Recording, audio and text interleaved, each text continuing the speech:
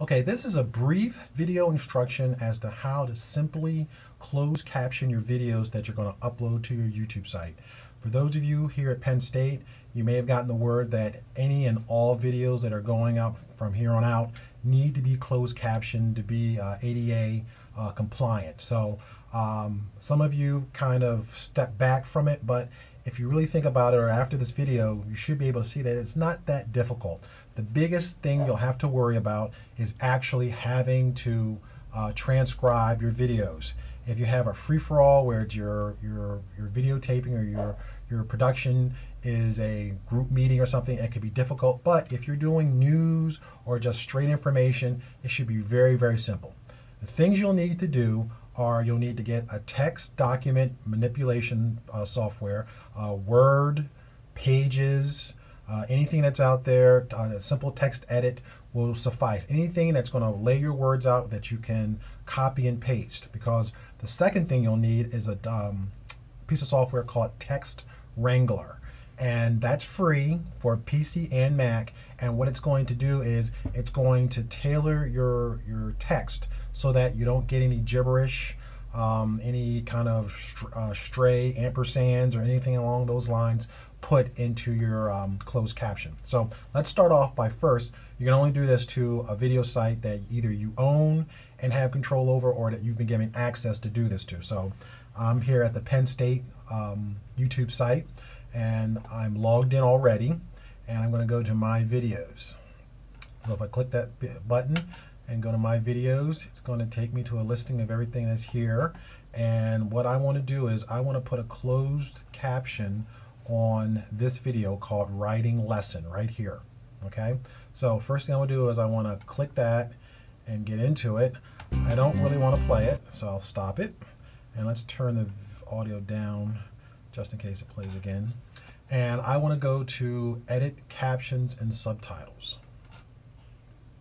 Once I click that, I see the information over here, and this is what I'm interested over here. YouTube will uh, do what's called a machine transcription, where YouTube has the software to actually listen to the words coming off of the um, the uh, video production, and it can, as best as it can, uh, give you a translation as to what's being said. Um, if you try you'll learn and you'll quickly see that it is very, very crude and simple things are twisted into meaning totally different other things. Um, it's really not that good. What we're after is the add caption track, which is right here. Um, all you need to do is type out what is being said in straight paragraph, you know, same way if you wrote a news story and it's just transcribed word for word, just lay it out. YouTube will read along with what you've written and listen to what's being said. And I would say with almost 90% to 95% accuracy, put up on the screen what is exactly being said. It's a great piece of software. Uh, all you need, once again, is you need obviously a text document that is a transcription of what's being said here. And in our case, it's a text document for the writing lesson. So if you see here on my desktop, I have a document that says writing lesson. And what I'm going to do is I'm going to open it with text application. And here it is. And as you can see, before she talks, I list her. Her name is Robin Becker. I put down Robin Becker, semicolon. Um, it pretty much will skip over that. It looks at, I, I'm guessing, it looks at groups of words, realizing that that is not being said. It will find extracurricular activities, expose children, and it'll put that on the screen. It's a very, very smart interactive program. So here you go. You've got that. Like I said, the next thing you need is a program called Text Wrangler, which is down here on my dock because I use it all the time. Right there. It's a free program. Just search for Text Wrangler and you know you'll find it on the web. Uh, I think it's done by the same people who do uh, BB Edit, BBE Edit. Uh, so what I want to do is I want to go back to writing lesson. I want to select all. So in Macintosh, and I'm on a Mac obviously, I want to go Apple A. I got all that, and then I want to go Apple C. I want to copy. Then I want to come down, activate the Text Wrangler page, and I want to Apple V. I want to put it all in there.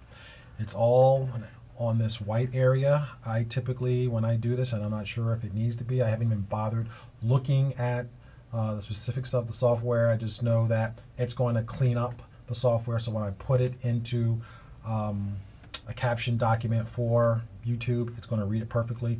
But I noticed that they have this white area and the gray area. I try to keep stuff that's, you know, keep it all on the white area. Um, but I don't know if it matters or not. You can try it for yourself. Um, but after I do this, I want to select all again on the um, text wrangler document. And then I want to go up here where it says text. And then I want to go down to right here where it says Zap Gremlins. This is the part where if you have anything that is going to provide a problem for the YouTube captioning program, um, it'll catch it. So if you go Zap Gremlins, um, it'll bring up this little sub menu and leave all these checked. So you're going to zap all you know characters that you don't want to go across, and those characters you want them deleted. You don't want them replaced with anything. You want them gone, and just say zap. Sometimes after you say zap, you'll see things move around, very minor. Um, this actually, I prepared this ahead of time. I cheated to make sure that it was ready so I could show you this example. Um, so nothing happened here, but uh, every now and then you'll see if you have too many spaces, it'll move them, you know, to a side. If you have an apostrophe, um, it'll do something to it so that you'll see the apostrophe in the YouTube captioning, but you may not see it here. But anyway, just rest assured, it takes care of your problem. After this, you, you need to save it. Obviously, I save it to the desktop because the only time I'm going to really need it is just for this one uh, purpose. I'm saving the text document if I have to go back and make changes. If I see that there is something wrong, I misspelled something, and I'm going to save this as, and I'm going to call this uh, the writing lesson. So I'll go down. I think I have it already written out here, so I'll click that. Writing lesson pops in there. I say save. I want to overwrite what's there. That's fine. And we're done. And you can see now writing lesson has that TXT. That's what you love to see. So we can hide some of this other stuff, hide text wrangler. Uh, we can hide the text edit. And we're back here at our video. All you need to do now is add caption, add new captions or transcript. Click that. You do not want to use caption file because that's looking for a specific file where time codes, where the uh, caption comes in and goes out uh, is related to an actual piece of script. You don't want that. You want uh, YouTube to do it for you. So you'll go transcript file, and this is a beta uh, program, but it works very well. Like I said, uh, it's in English, no problem. But if you want to, you could rename it, but we don't care. So we're going to choose a file. We want writing lesson. That's on my desktop. We say choose. It's already there. Like I said, we don't want to rename it because we really don't care as long as the, the captions come across correctly. We say upload file and it'll work. Now, uh, it'll take maybe five minutes. This is a uh, two minute and 27 second video. It may take about five minutes, so I'm going to stop talking and then we'll come back and pick up after it's done. Okay, if you see now, it has an English and it has a checkbox, meaning that there's a caption track for English. And I don't believe it sees it as English, but because in the previous screen where it uh, asked me whether or not it was English or not, it gave me an option. I didn't change it, so it sees it as an English transcript. Um, I can look here, I could download it if I wanted to. If somebody said I want to see what that person said, I could do that. And I can remove it. If there's an error or I need to, to change something, I could remove it and put it back up again, no problem but proof is in the pudding. What you want to do is you can hit play here. It's kind of small, so I'm going to go and I want to go back to my videos and I'm going to go to that video and I want to see it bigger. You see it comes up English. That lets you know that there's a subtitle there. And as soon as she starts talking, and the beautiful thing is I put her name in there let you know that she's talking, but it's still on sync. Horseback riding lessons and the instructor-student relationship that took place through those lessons. Perfect.